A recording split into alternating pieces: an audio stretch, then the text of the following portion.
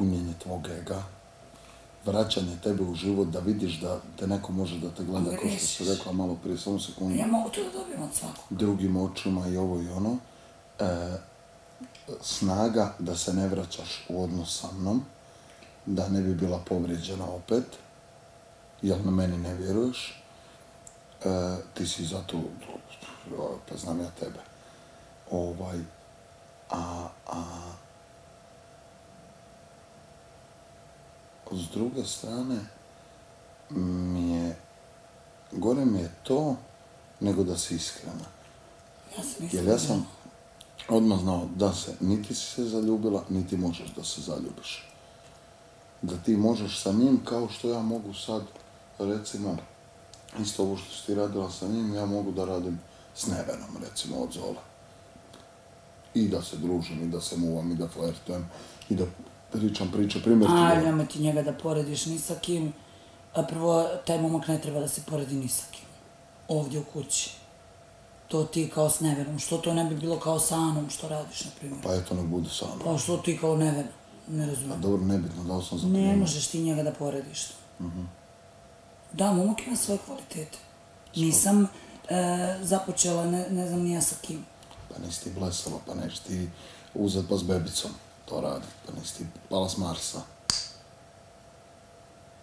Neš ti Sandija uzet pa to raditi. Pa nisi ti toliko još pukla. Ali to još gore mi je. To što, Ja se nisam igrala kim. Jednostavno znam ja nisam čista. čim nisi čista prema meni, a s nekim pričaš o vezi, o sviđanju, ne pričamo o znam čemu, nisi iskrena. Pričaš ne, s nekim o seksu, aludiraš na seks. Pa dobro, ti s njim indirektno pričaš o jebanju. Znam ja tvoje priče. Pa i Milan je sam potvrdio. Indirektno si se cimala na seksualnost, na seks. Jel u krevetu nisi pričala vezano za seks? Jel mu nisi rekla da bi imala seks s njim? Jel nešto tako u tom smislu? To, to je Milan prokomentirao. Pa niste aludirali na seks? Više puta, kroz priču. Što moguće? Sam. A nema mi se glupava praviti. Ne znam, ne se. A nemoj se glupava praviti kad pričam s tobom. Ja znam da smo najviše bili fokusirani. Pričali smo o životu, o putovanjima. Gdje je on bio, gdje sam ja bila. Šta je doživljavao na putovanjima, što sam ja. Razne teme.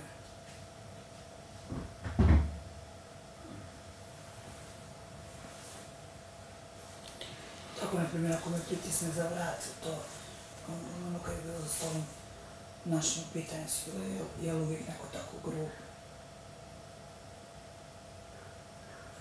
Što pitanje? Pa tako u tom smislu, jesi uvijek tako grub. Ili to, na primjer, kad ja njega pritisnem za ruku, on pita, "Jel može to malo jače. Ako je to seks, pričanje o seksu, onda jest. Po, od toga da pa, o, ti znaš na šta si aludirala kad pitaš to. Jesi aludirala na čitanje knjige. Toga kod tebe nema. A da. Ti znaš kako pomućuješ ti i žene na margini, kao što si ti. Na margini. Pa na margini, da. Znate na šta idete da odšljakate muškarca? Ne, ne pričaš o Coca-Coli, nego o kurcu i o pički. O stiskanju, o svili, o čipki, o ovome, onome, o ufaf, o pogledi, ovo, ono, vamo tamo. Razumiješ? A flirt da nekoga odradiš. Jebi ga, bar postoji priča. Kod tebe nema priče, ti... Niko tebe, niko od ovih tvojih. Odmah, pljas. I onda, i onda kažeš, i onda kažeš ovako, odgovara mi druženje, sviđa mi se, paše, e, ostavljam prostora da ćemo ući u vezu, da ćemo biti u vezi. A onda se ustane on, a onda se vratiš meni, budeš sa mnom, onda se vratiš u tu priču, onda ustane on i kaže da zaljubljen sam, nije mi dobro, To je danas po prvi put rekao, ni ja za to nisam. A joj, nisi znala, nisi ti vidjela po ponašanju, daj molim. te. Ne, iskreno, nije, nije meni rekao direktno. I onda čovjek kad kaže da je zaljubljen, ti džada iz, iz druženja. Šta da radi? Ti onda džadu, a kao, sviđa ti se, prijati i mo- mogli bi te biti u vezi. Ovo. Filipe, stvaramo probleme. A tebe baš, evo, evo, ti se nasekirala jedna što se stvaraš. Ne, on nije neko ko se može nositi s problemima kao što se nosiš ti ja. Pa ti rekao da zbog, da nema dečko problema, rekao da se Pa spomeće. neću ispada da mu se kvari prijateljstva, ne daj Bože da postanu zategnuti porodični Pa ti nisi, pa ti nisi mogla zbog sebe, zbog svog braka i života, da, da, da, da, se, Ja, pusti ja. da se skloniš, a Neću. sad se sklanaš iz ovoga zbog njega. A neću ja njemu, zato što nije, nije zaslužio da mu se dešavaju loše stvari. Da, ali inače da može Vidi da da pada pod pritisak. Da, ali inače da je drugačije, ti bi ostala u tom druženju, ušla bi u odnos, u A vezu. da zna da se odbrani, da, da je, razumeš, u nekim situacijama kao ti, drugačije bi bilo. Da je ko ja. U nekim momentima, to što se tiče crnog stola i tako to. Znaš. Onda bi bila u vezi. Onda bi A nastavila. onda me ne bi zanimalo što ima pritisak. Pa bi, pa bi nastavila. može da se odbrani. Koga ti ful, šta ti... Na, a znaš kako ja ne volim ovako s ljudima kad pričam ovako? Ja bi te sad izvrijeđao. Samo zato što lažeš, što petljaš, što muljaš. Što da meni kažeš tako i tako. Razumiješ?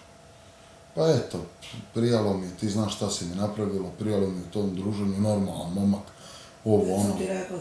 Ali jednostavno, eto, pokušavala sam, probavala sam jednostavno na sve moguće načine, nek ispadne kako ispadne, ali čovjek me ne radi i nisam se zaljubila. Ne možeš ti reći mene neko ne radi kada je postojalo i hemija i energija. Ja ne znam da ti tako hemiju i energiju završavaš. Ne znam zašto ju ne nastavljaš. A meni govoriš ovako, razumiješ? Znaš, Nije ono, fair prema njemu da ja uh, radim... da kažeš onako kako jeste. Ne. Da radim neke stvari sa njim, a idem s tobom pričam i, i postoji još nešto između tebe i mene i nije, nije okej. Badimo ti. Okej, dobro.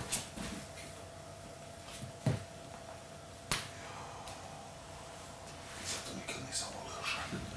Mislim, volio žene, zato ih nikad nisam vjerovao. Zato bi ih uvijek... Ja li ste nas imao neku gej aferu? Kako sam gej aferu? Kako gej aferu? A? Kako gej aferu? Gej aferu. Ti si bila poremećena. Kako poruke neke kažu da postoje Ko je poruka? sa nekim muškarcem da si Jesi ti bolesna? Ko je to rekao? To čula sam To nikad u životu. Jesi ti poremećena? Znam, ja, nemoj mene pitati. Nisam ja to rekao. Eto, samo nek mi još to spakuju i... Pa jebi ga. Nije da ne mogu da ti shvatim. A...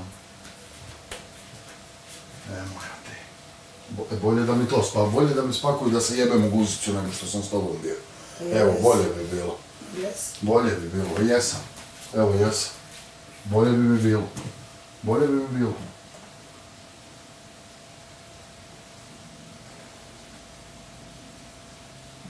Imaš ti malo to da vičeš. Ajmo šupičku materiju. Možda su tetovaže samo pokrići. Mhm.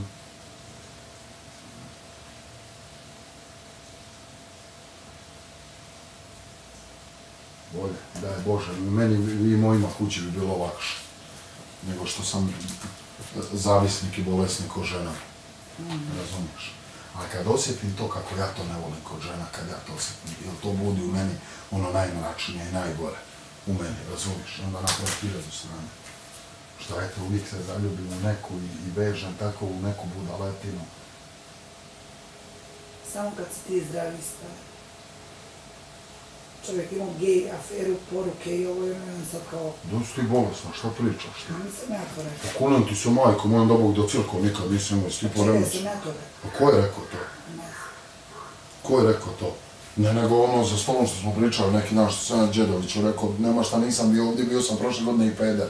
Kad je Aleksandra rekla da, da sam peder, da je njena prijateljica rekla da sam peder. Pa viš da nisam ja rekao. A ne priča da je neko rekao kad se ja rekao za stolom. Da sam prošle godine i peder bio. Tako da mi nije ništa čudno ove godine. Rekla je prijateljica, ja izašao u četvrte sezone, upoznao je tu njenu prijateljicu. Koja kaže da nije to, rekla, hodala s mojim drugom. Bila u vezi.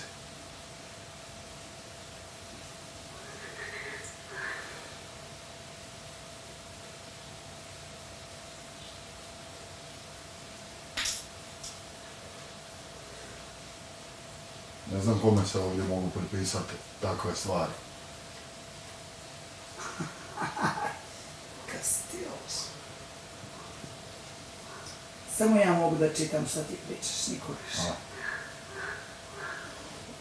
Samo ja mogu da čitam šta ti radiš. Niko više. Niko više. Razumiješ? Niko više u životu. Možeš da dođeš, da imaš seks sa mužem s kojim si imala pet godina, da, da, da ga voliš, da ne znam što da kažeš, da sam ti najveća greška na svijetu, da me mrziš, a da je totalno suprotno. A da je totalno suprotno. A kamoli ove, ove priče, neću, rekao sam, ovo mi tek smiješno. Ovo mi tek. Imate prava na vaše pogrešno mišljenje o meni.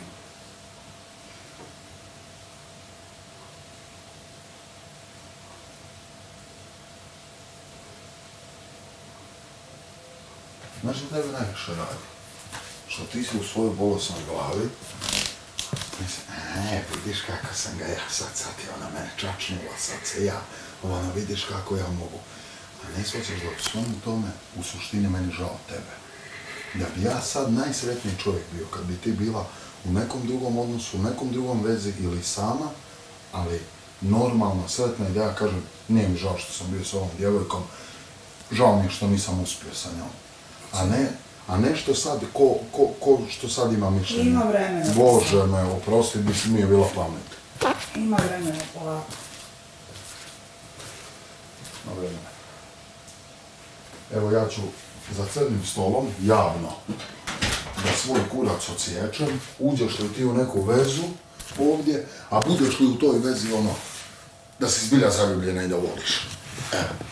Evo ja bi sve dao u životu da vidim tvoj seks da imaš sa nekim, eto, to si imala s Denom, i tad si bila 20 dana samo sa mnom.